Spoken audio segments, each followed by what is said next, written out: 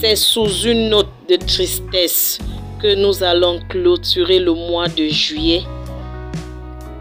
Bienvenue à tous. Dans cette nouvelle vidéo, nous allons parler de la commémoration de la deuxième première dame du Cameroun. L'histoire étant la mémoire d'un peuple, il est impératif que toutes les séquences de l'histoire d'un peuple soient retracées. La quasi-totalité des Camerounais ignore qui fut cette femme extraordinaire au destin plutôt tragique. 30 ans jour pour jour que la première épouse du président de la République du Cameroun, M. Paul Biya, nous a quittés et confiés aux oubliettes. Ainsi, la triste réalité de la vie. Irène, née en 1935, 25 ans avant la pseudo-indépendance des territoires d'Afrique francophone, à Monengombo, une localité située dans la ville d'Akonolinga, département d'Union et Fumu, région du centre. Elle fait ses études primaires et secondaires à Yaoundé avant de s'envoler pour la France où elle étudie pendant quelques années à l'école des sages-femmes à Nantes. Après l'obtention de son parchemin, exerçant comme sage-femme, elle fait la rencontre de son prince charmant Barthélemy Paul Bivondo Bia.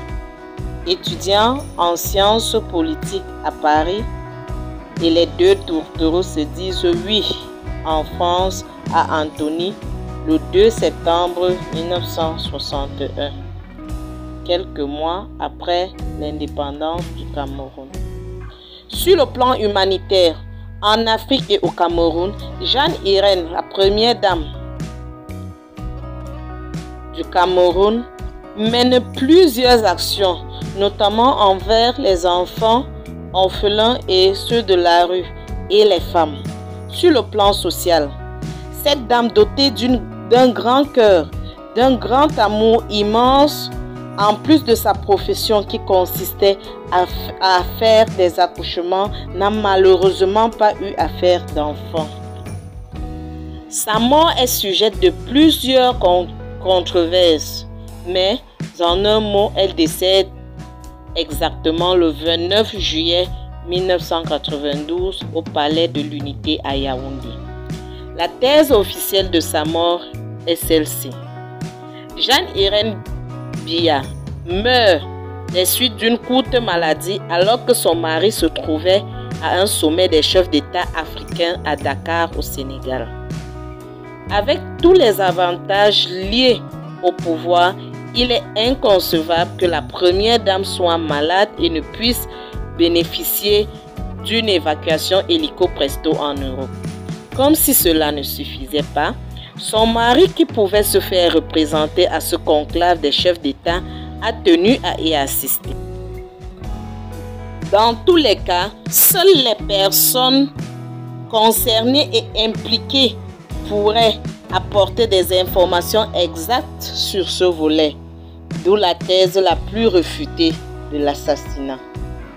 Pour plus d'infos sur cette deuxième hypothèse, cherchez l'ouvrage 100% déballé en Gounou, Daniel Saint-Yves.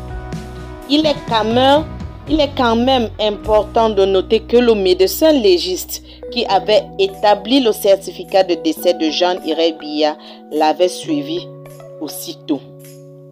Une histoire vraie et non une modifiée ou frelatée au plaisir et au gré de certains individus puissants et aux affaires. Va, maman, et que la terre de nos aïeux te soit légère.